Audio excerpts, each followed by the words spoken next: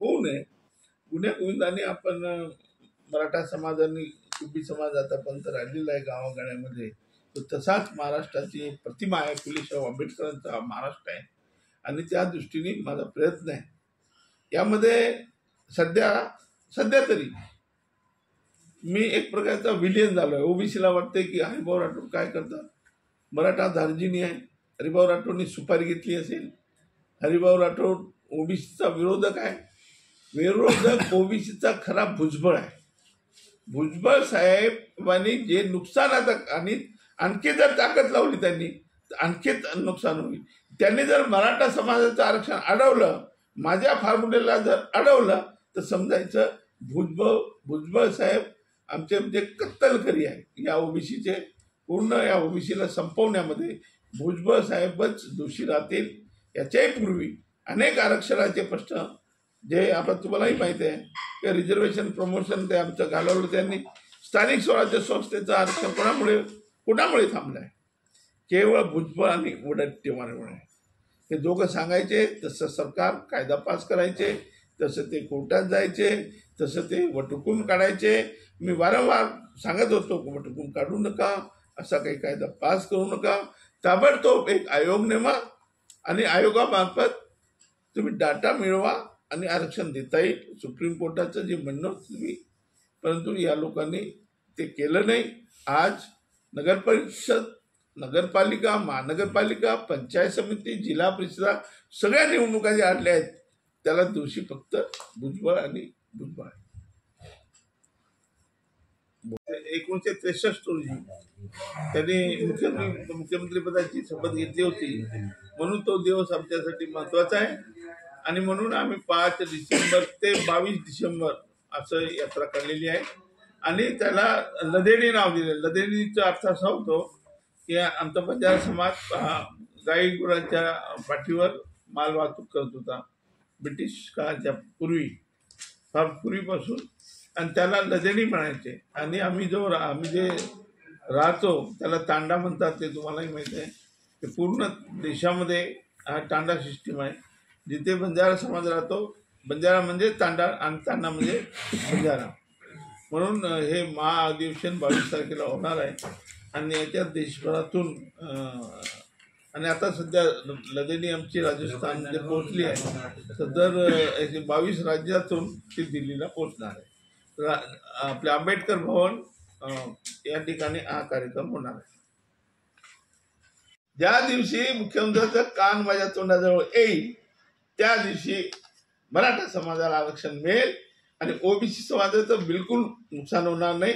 On the contrary माझा जो proposal आहे किंवा फॉर्म्युला आहे त्याच्यामध्ये जे भटके भटक्यांना अडीच टक्के आरक्षण आहे. आता सध्या ते तीन टक्के होणार आहे. लिहून घ्या हे महत्वाचं आहे.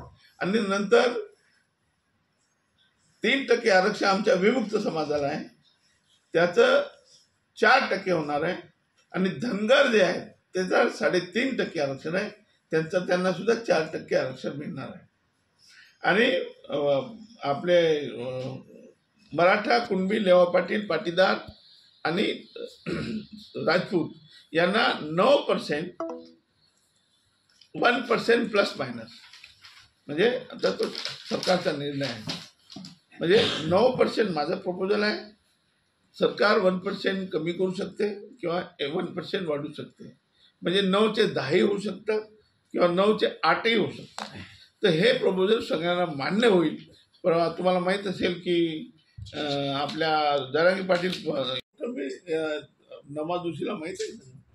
त्याच्यावर केवढा मी लिहिलं केवढा अभ्यास केलेला आहे. तुमची ते तिसऱ्या आणि मला घटना तज्ज्ञ म्हणून बोलावलं असं म्हणजे देशामध्ये जेवढे जाट असो नंतर कुठले आरक्षण मागतात आपले इतर राज्यामध्ये इथे तुमची ते तिसऱ्या अनुसूचीची जी मागणी होती. तीच. जाती अनुसूचित भटक्या आणि जाती. आणि मी तर आपल्या मराठा इथे आपल्याला माहिती आहे की मराठा आरक्षण फार जटिल प्रश्न झालेला आहे.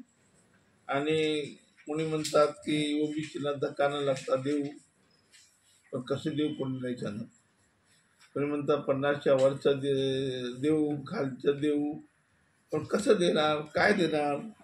तेव्हा बैठक मी आहे आत्ताच मी ऐकत होतो. काल बैठक झाली आणि बैठकीनंतर आज जे पत्रकार परिषद झाली अं, जनांगीची ते परत म्हणतात की सरसकट मला आम्हाला पाहिजे. सरसकट सरसकट याचा अर्थ सगळ्या मराठ्यांना कुणबी करून टाका असा त्याचा अर्थ होतो. आणि ते शक्य नाही आहे आणि ते योग्य नाही आहे असं माझं म्हणणं आहे. जेवढ्या जोराने तुम्ही ओबीसीचे आपल्या कुणब्याचे दाखले मिळतील तेवढे बावन्न लाख झाले आता. जोरात काम चालू आहे. जेवढं जोरात काम कराल तेवढं जोरात ओबीसीवर अन्याय होणार आहे.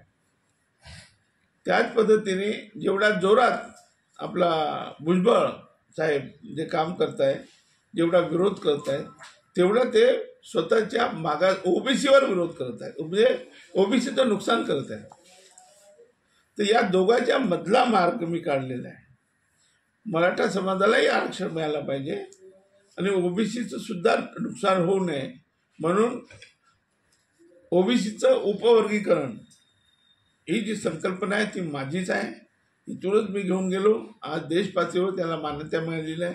आपल्याला आठवत असेल की मी बी जे पीत असताना मान्य अटल बिहारी वाजपेयी आले होते पंढरपूरला यात्रा होती. दहा लाखांचं धनगर समाजाने भटक्या मेळावा होता. प्रकाश शंगे त्याचे आयोजक होते मी सहआयोजक होतो. त्यावेळेस मान्य पंतप्रधानांचं भाषण मी लिहिलं होतं अटल बिहारी वाजपेयीचं.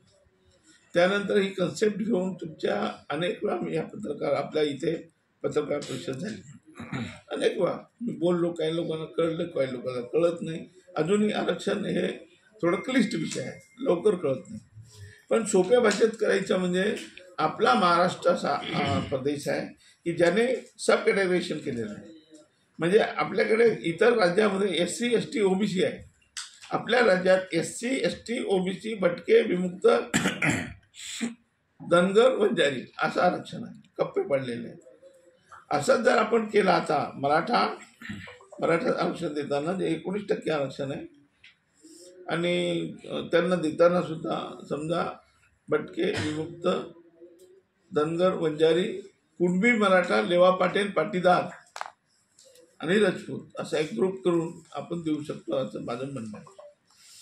आणि माझ्या प- पुढे जाऊन असं म्हणणं आहे माझं की जे सत्तावीस टक्के आरक्षण आहे ओबीसीला त्याला धक्का लागणार नाही.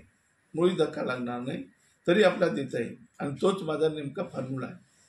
तो फॉर्म्युला उद्या मी मान्य मुख्यमंत्र्यांना मी वेळ मागितली आहे. त्यांना मी वेळ मागितली आहे की तुम्ही फक्त अर्धा तास द्या. मान्य मुख्यमंत्र्यांनी जर अर्धा तास मुख्यमंत्री आणि उपमुख्यमंत्री यांनी जर अर्धा तास दिले तर चोवीस डिसेंबरला मी जरांगेच्या हाती जी आर देऊ शकतो आपण. असे असा माझा फॉर्म्युला आहे. तो फॉर्म्युला आजपासून मी सांगत नाही. दोन हजार सहा सोळा साली जेव्हा आपले चव्हाण साहेब होते पृथ्वीराज चव्हाण मुख्यमंत्री त्यावेळेस मी लमसम तुम्ही विरोध केला. मी असं ते टिकणार नाही. पन्नासच्या वर तुम्हाला देता येणार नाही. त्यानंतर